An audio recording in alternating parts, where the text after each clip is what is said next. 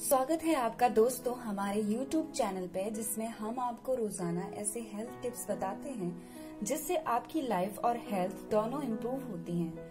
दोस्तों, आज हम आपको बताने वाले हैं एक बहुत ही उम्दा फेस मास्क जिसे आप नीम और बेल के पत्तों से ही बना सकते हैं। जी हाँ दोस्तों, जैसा कि आप जानते हैं कि बेल पत्र में खुद के बहुत सारे गुण होते हैं, और नीम में ही। बेलपत्र हमारी त्वचा को न केवल साफ़ करता है बल्कि उसमें खुशबू तथा फ्रेशनेस का भी एहसास दिलाता है। उसी तरह नीम। नीम के कीटाणु रोधक उपयोग तथा उसका एंटी बैक्टीरियल तथा दांत खाज खुजली को दूर करने की प्रवृत्ति के कारण बहुत ही ज़्यादा इस्तेमाल किया जाता है भारत में। तो आइए हम शुरू करते हैं। सबसे पहले इस फेस पैक को बनाने के लिए हमें चाहिए होगा मट्ठा।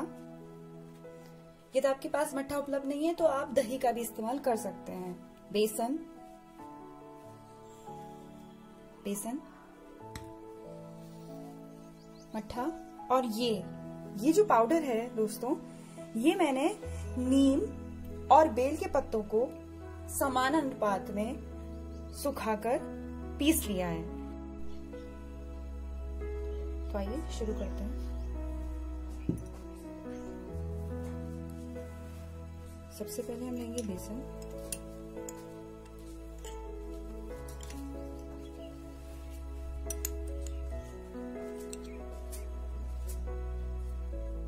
लगभग दो चम्मच बेसन। उतनी ही मात्रा में दो चम्मच नीम और बेल के पत्तों का पाउडर जो मैंने इसमें डाल लिया है। अब हमने ये मट्ठा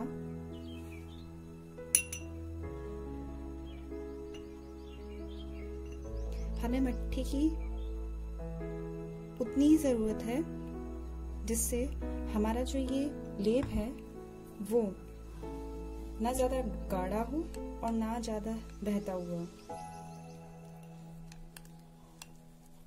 ये यहाँ मिक्स कर रही हूँ। मैंने अच्छे से मिक्स कर दिया है। इस लेप को आपको अपने चेहरे पर 15 से 20 मिनट तक लगाए रखना है। उसके बाद सूखने पर ठंडे पानी से आप इसको धो दें। जैसा कि आप जानते हैं कि बेलपत्र, जैसा कि आप जानते हैं कि बेलपत्र जो होता है वो ठंडा होता है और नेचुरल ही खुशबूदायक होता है, जो हमारी त्वचा को न केवल साफ़ करता है, बल्कि उसको डीपली क्लींस या शुद्ध भी करता है। उसी तरह से नीम का पाउडर जो नीम होता है, वो तो आप जानते हैं नेचुरली कीटाणुनाशक होता है, शरीर पे पलने वाले तमाम तरीके के बैक्टीरिया और अलग अलग तरीके के इन्फेक्शन को पूरी तरह से रोकता है। इस लेप को लगाने से न केवल आपका चेहरा कांतिमय व ओजवान होगा, बल्कि अलग अलग तरीके के चम रोगों से भी आपको मुक्ति मिलेगी। उम्मीद है, दोस्तों, आपको हमारा ये ज्ञानवर्धक वीडियो पसंद आया।